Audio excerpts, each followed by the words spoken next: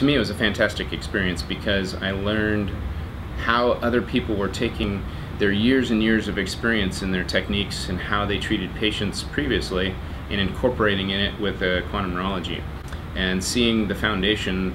um, from the basics that George was teaching and seeing how people were incorporating all their different techniques and how to how to make it work. So um, being able to work with new practitioners and meet new friends and get in that social aspect and see um, how to do new adjustments or how people are using a technique that I'd seen before but didn't see how it would interplay uh, was really important.